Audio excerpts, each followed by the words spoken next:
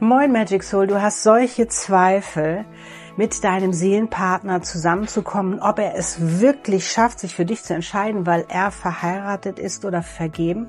Vielleicht seid ihr auch gerade frisch zusammengekommen und da sind trotzdem noch so viel Zweifel.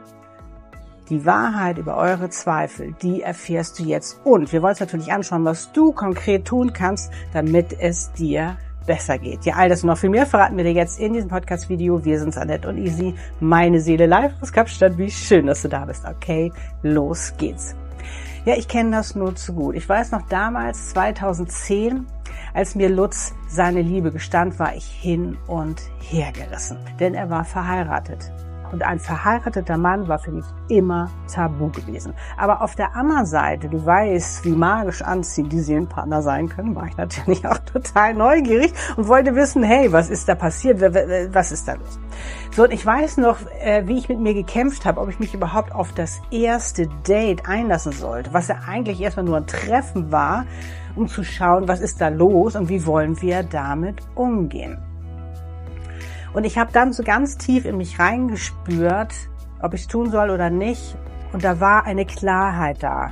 Und ich weiß auch, eine Freundin hat zu mir gesagt, vielleicht ist das Mr. Right. Und ja, letztendlich habe ich mich darauf eingelassen. Und äh, das Spannende, was ich finde, ist äh, gerade eben auch bei den Zweifeln, dass sie auch ein Türöffner sein können, eine Chance für etwas Neues. Weil ich dadurch natürlich mein altes Tabuthema sozusagen in Frage gestellt habe und mich für etwas Neues geöffnet habe. Und du weißt ja auch, ich meine, die Seelen nehmen ja keine Rücksicht darauf, ne? welche Umstände, welchen Umständen wir uns befinden als Seelenpartner, ob verheiratet oder nicht oder auf verschiedenen Kontinenten leben, weil das ein wichtiger Teil der Seelenpartnerschaft ist, beziehungsweise Seelenpartner-Dualseelenprozesses auch. Natürlich gibt's das auch anders, ganz klar, die haben dann andere Themen. Aber es ist oftmals so, dass das Pferd sozusagen von hinten aufgezäumt wird, weil wir für uns erleben sollen, wie kraftvoll und machtvoll diese wahrhaftige Liebe ist, die nämlich keine Tabus kennt. Und das finde ich nämlich mega spannend. So, also wir hatten dieses erste Date und wie du dir vorstellen konntest, war das magisch. Das war natürlich obercool. Wir hatten so tolle Gespräche. Wir waren uns so einig in so vielen Dingen. Du sagst, hä, so denkst du auch. Und wir, wir hatten so gleiche Vorstellungen auch vom Leben und so. Oh, das war einfach so cool gewesen, dass ich gesagt habe, ich war nämlich noch zwei Monate in Hamburg. Okay, ich bin noch zwei Monate hier, bevor ich wieder nach Kapstadt gegangen bin Lass uns es versuchen, lass uns kennenlernen und dann können wir final entscheiden, ob wir miteinander gehen wollen oder nicht sozusagen. Aber eigentlich war es schon klar, dass wir miteinander gehen wollen. Darum hatte ich wahrscheinlich auch so eine Angst gehabt, überhaupt mich auf dieses Date einzulassen, weil ich irgendwo schon innen drin in mir wusste, er ist es und ähm, da wird nichts mehr sein, wie es mal war. So. Was mir aber auch ganz wichtig war, und das hatte ich gleich beim ersten Date sozusagen klar gemacht, da bin ich heute wirklich noch äh, im Nachhinein ganz, ganz froh darüber und ganz dankbar, dass ich mich schon so sehr auf diese Seelenpartnerschaft vorbereitet hatte, dass ich genau wusste, was mein Wert ist, dass ich genau wusste, was ich wollte und auch genau wusste, was ich nicht wollte, nämlich eine Geliebte sein. Weil ich mag nicht zu irgendwas werden, was ich nicht selbst bestimme. Und so habe ich das eben auch klar gemacht und habe ihm auch einen gewissen Zeitrahmen gegeben, wo er für sich eben letztendlich, auch wenn wir uns jetzt entscheiden nach diesen zwei Monaten so, ähm, oder auch eben schon vorher, dass er relativ schnell entscheiden muss und das eben auch klären muss. So, und ich wusste auch, es gibt so eine psychologische Grenze, wo man so weiß, ähm, dann wird es irgendwann zur Gewohnheit. Und ich wollte, wie gesagt, keine Gewohnheit werden, sondern ich wollte, dass er sich wirklich für mich entscheidet. Was ich allerdings überhaupt nicht so richtig auf dem Schirm hatte, war, wie sehr er doch das Ganze noch in Frage stellen würde. Ich meine, war das doch so magisch und war es doch so klar? Und ich meine, war er doch derjenige gewesen, der gekommen ist und hat mein ganzes Leben auf den Kopf gestellt und sagt, hey, und du bist meine Frau und all diese ganzen Sachen. Nein, ich habe natürlich, ist ganz klar, ich habe es natürlich auf der anderen Seite auch verstehen können. Ich meine, wenn man sich mal überlegt, ähm, du bist eben lange Jahre verheiratet und auf einmal äh, sollst du alles stehen und liegen lassen, sozusagen für eine neue Frau, die auch noch aus Südafrika kommt, die du noch gar nicht richtig kennst, wo dir aber dein Gefühl sagt, das ist die richtige Frau. Es ist neu und es ist anders, diese Seelenpartnerschaft. Und da kann ich natürlich total verstehen, dass da eben auch noch der ein oder andere eben total rumeiert und eben auch nicht so genau weiß, ist das jetzt richtig oder nicht, weil wir wollen auch keine Fehler machen und vor allen Dingen wollen wir niemanden verletzen. Aber das wäre ja eben in seinem Fall so gewesen. Und ich sage dir ganz ehrlich, hätte er sich damals für sein altes Leben entschieden, dann hätte ich ihn losgelassen. Hätte mir das wehgetan, ganz klar. Aber ich wusste dann auch schon, das ist er. Und ich wusste, das ist so klar, dass wir zusammengehören, weil das tun eben Seelenpartner, habe ich schon oft drüber gesprochen. Und ich wusste, wenn er es jetzt noch nicht schafft, dann wird er es zu einem späteren Zeitpunkt schaffen. Das war für mich so klar, dass ich natürlich auch schon viel relaxter, sag ich mal, damit umgehen konnte. Aber hatte ich natürlich auch Zweifel dann auf einmal, dass das schafft? Natürlich, weil wenn der eine unsicher ist, wird der andere auch unsicher. Ich meine, das kennst du selbst. So, und als er sich dann offiziell zu mir bekannt hat, da war ich ja dann äh, wieder in Kapstadt und das hat er wirklich relativ schnell gemacht. Das finde ich auch gut. Und weißt du, für mich ist, ich bin so ein Mensch, der, der ist immer so straight. Also ich regel immer Dinge sofort und äh, ich nehme auch alle Konsequenzen in Kauf. Und für mich war das erstmal neu und das fand ich eben auch spannend zu erleben, dass der andere ja ganz anders mit den Dingen umgeht. Und das ist nämlich auch ganz cool bei einer Seelenpartnerschaft, fällt mir jetzt gerade ein, noch bringe ich das jetzt nochmal ein wirklich auch nochmal nicht immer sein eigenes Ding darüber stülpen zu wollen, wie der andere irgendwas machen soll, weil das ist ja eher das alte Beziehungsmodell, was ja, wie wir ja wissen, nicht immer so erfolgsgekrönt war, sondern dass es wirklich darum geht, einfach auch ähm, den anderen machen zu lassen. Und da ist eben zum Beispiel auch bei uns Mädels, dass wir oft uns einmischen, oft in seine Energie gehen und dann wollen wir irgendwie was regeln. Nee, raus. Lass ihn Kerl sein. Die machen das schon auf ihre Art und Weise. Wir können ja mal Lutz fragen, was er dazu sagt. Lutz, was sagst du dazu? Genau. Genau. so. Wie gesagt, ich war dann, äh, ich war dann wieder in Kapstadt. Er hatte sich offiziell zu, äh, zu mir bekannt und dann kamen einfach neue Zweifel. Und dann ging das weiter mit den Zweifeln. Er hat, glaube ich, gar nicht damit gerechnet, welche Bombe er da gezündet hatte. Denn er hatte auf einmal kein Zuhause mehr. Äh, er hat jemanden ganz doll wehgetan und da waren natürlich auch ganz viele Einmischer da. Ne? Natürlich, wie kannst du und all diese ganzen Sachen, Verwandte, Familie, Bekannte, Freunde, alle, die natürlich auf einmal etwas dazu sagen und äh, ja, natürlich da eben auch alles wieder in Frage gestellt. War das richtig, was ich gemacht habe? Und du weißt auch, unsere Psyche spielt uns da gerne auch einen Streich, dass wir all das, warum wir überhaupt die Veränderung gemacht haben, vergessen, sondern uns nur an die schönen Dinge erinnern. Ach, wie war das doch so herrlich so.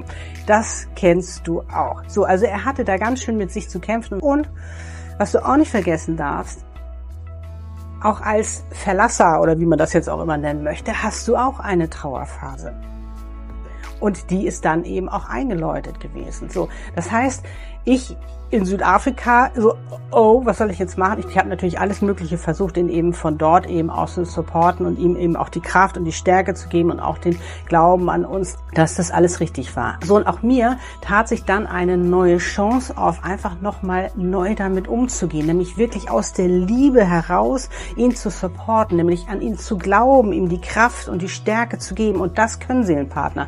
Und das ist mega cool, wenn du das für dich letztendlich ähm, auch ähm, ähm, erleben kannst, wenn du das für dich nutzen kannst, wenn du das für dich entdecken kannst, weil dann ist der Ego raus, dann bist du in der Liebe, dann bist du in deiner Fülle und dann bist du in deiner Kraft und dann kannst du ihn auch richtig supporten, dass er eben auch wirklich diese Phase übersteht. Okay, warum haben wir nun diese Zweifel und was ist die Wahrheit unserer Zweifel?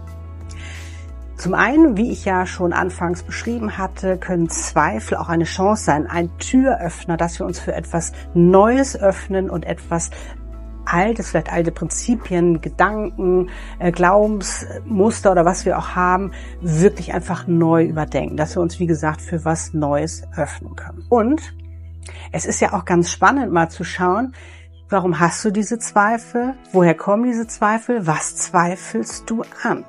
Zweifel sind nämlich auch ein hervorragender Wegweiser, ein Wegweiser, der dir zeigt, was jetzt geheilt werden darf. Und wenn wir uns das jetzt mal beim Seelenpartner Dualseelenprozess anschauen, was triggert er dir denn? Du weißt doch, dein Seelenpartner ist der Weg zu dir und ist der beste Spiegel, den du dir mit vorstellen kannst sozusagen. Was triggert er dir? Warum bin ich es nicht wert, dass er sich für mich entscheidet? Bin ich denn wirklich nicht so liebenswert? Warum bin ich immer nur Nummer zwei und nicht seine Nummer eins? Habe ich auch schon mal ein Video drüber gemacht, schau es dir gerne nochmal an. Warum habe ich nur immer so ein Pech? Warum habe ich nur immer so ein Pech in der Liebe? Ich finde immer nur den Falschen. Jetzt ist es doch mein Seelenpartner. Jetzt müsste es doch klappen. Warum haut es wieder nicht hin? Also was passiert? Deine alten Selbstwertwunden brechen auf, um sie zu heilen. Mit allen Verlustängsten, mit allem, was dazugehört, entstanden aus deiner Kindheit. Ist das nicht toll, dass du die jetzt endlich heilen darfst, dass dir dein Seelenpartner dabei hilft, dass diese Zweifel überhaupt entstehen und dass du diesen Wegweiser für dich entdecken kannst? Denn worum geht's denn jetzt? Dich nicht mehr limitieren zu lassen, deinen Wert zu erkennen, dass du jetzt endlich heilen darfst, dass du dich befreien darfst von all diesen Limitierungen, die du hattest und von all diesen Ängsten und Sorgen, die du schon so viele Jahre mit dir rumgeschleppt hast. Du weißt ja, jetzt darfst du den Rucksack auspacken, denn für eure erfüllte und glückliche Seelenpartnerschaft ist das ganz, ganz wichtig. Das ist die Basis dazu, eben auch in deine Selbstliebe zu gehen deinen Selbstwert zu erkennen und dich auch selbst zu ermächtigen, denn dein Seelenpartner ist nicht mehr dafür da, die Lücke zu schließen, was ja vorher im alten Beziehungsmodell war, wo wir immer dachten, der andere muss das machen. Nein, sondern das ist jetzt deine Aufgabe. Seine Aufgabe ist es, dir dabei zu helfen, das letztendlich für dich zu erkennen, weil nur du kannst diese Lücke schließen. Das kann der nicht. Und du weißt, eine Seelenpartnerschaft ist ganz anders aufgebaut. Dazu habe ich auch nochmal ein Video gemacht. Schau es dir gerne an. Und auch hier wieder haben die Seelen geschickt eingefädelt, dass wir es endlich machen können. So, das heißt, also was macht er? Dein Seelenpartner spiegelt dir genau den Mangel wieder, wie gesagt, die Lücke, die du jetzt schließen sollst. Macht er das mit Absicht? Jedenfalls nicht bewusst, aber es gehört zu seiner Aufgabe als Seelenpartner. Und spiegelst du ihm auch etwas? Darf er auch etwas durch dich lernen? Darf er auch etwas durch dich heilen? Na klar.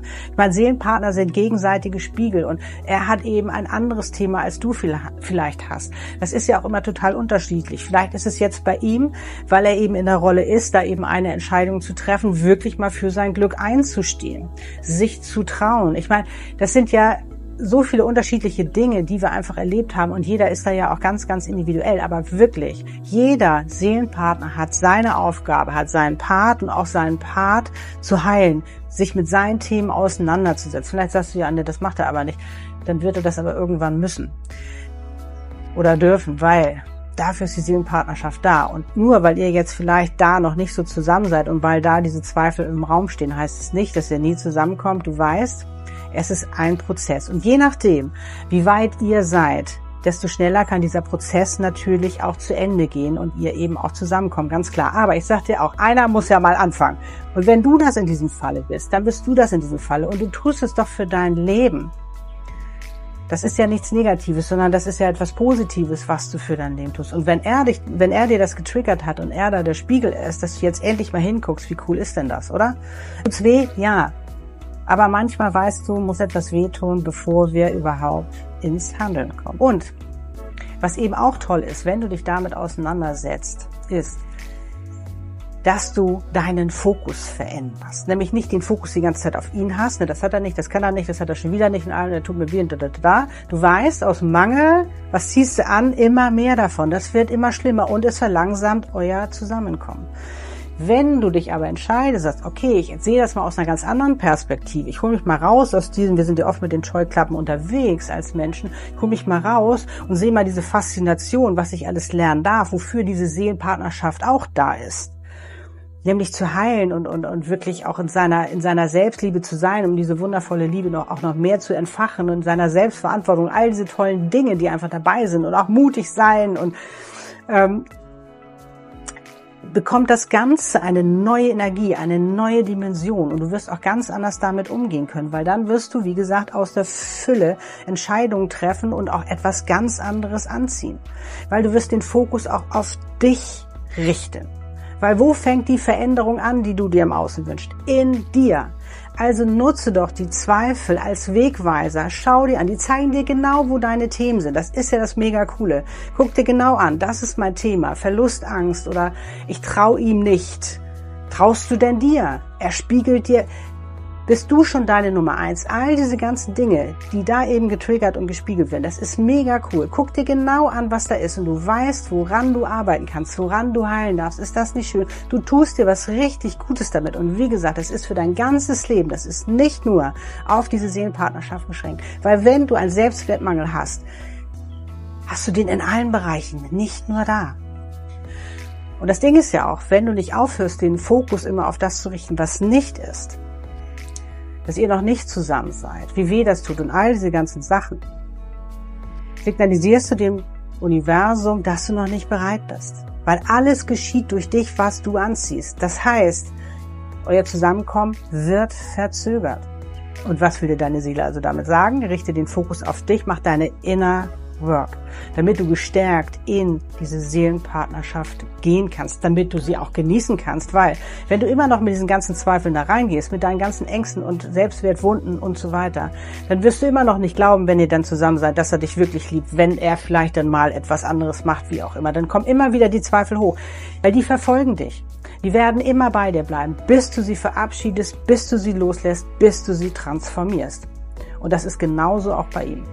Und sie gibt dir eben auch die Chance, wenn du dir erlaubst, es neu zu betrachten, wirklich in eine neue Perspektive zu gehen, dass du auch wirklich wahrhaftig lieben kannst. Weil wenn du immer im Ego bist und im Mangel bist, funktioniert das nicht, sondern du musst dich erheben, um diese neue wahrhaftige Liebe auch leben zu können, die völlig neu und anders ist. Und das ist eben auch die Chance, Dinge auch mal anders zu sehen, nicht nur aus deiner Perspektive, sondern auch aus seiner Perspektive. Und das finde ich mega spannend, wenn du dir das erlaubst, weil da bekommst du ganz neue Erkenntnisse und verstehst auch viel besser, wie du eben auch mit euch umgehen kannst, beziehungsweise was ihr eben auch beide braucht oder was du brauchst und was er braucht, um eben auch besser mit dieser ganzen Situation umzugehen.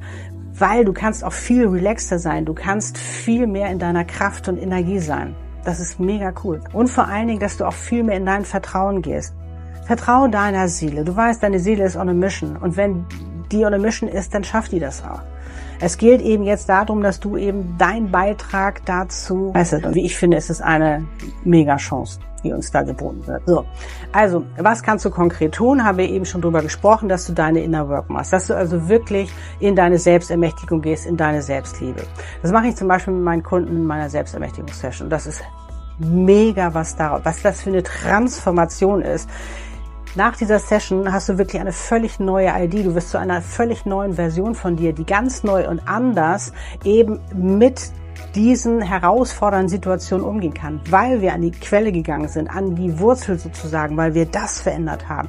Und da kommst du in eine ganz andere Energie und du hast ein ganz anderes Wissen und eine ganz andere Weisheit, die du jetzt eben für dich nutzen kannst, um eben Dinge auch zu regeln. In einem Channeling können wir natürlich auch mal schauen, was ist da los, was wird da gerade gebraucht, um da einfach Klarheit zu bekommen. Und was ich auch mal gerne mache, das ist immer so ein kleiner Trick von mir, ist, wenn mich mal wieder so alles überfällt, dass ich einfach einen Moment mal innehalte, sage, Moment mal, stopp, okay, Zweifel, Gedanke oder was da auch gerade ist.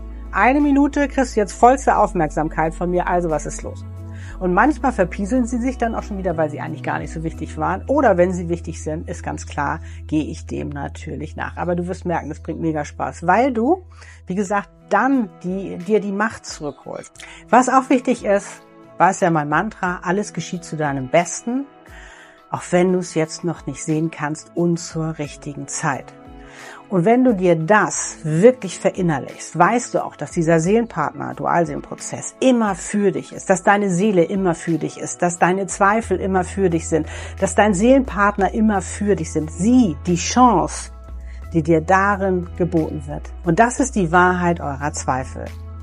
Zum einen der Türöffner, die Chance für etwas Neues und der Wegweiser, endlich heilen zu dürfen. Ist das nicht schön? Wir hoffen, dir hat dieses Podcast-Video gefallen. Wir sehen uns im nächsten. Ciao for now und wenn du unsere Hilfe brauchst, schau gerne auf unserer Webpage vorbei, annettebormester.com. We love you, du bist Magic, wir glauben an dich, deine Annette und Easy.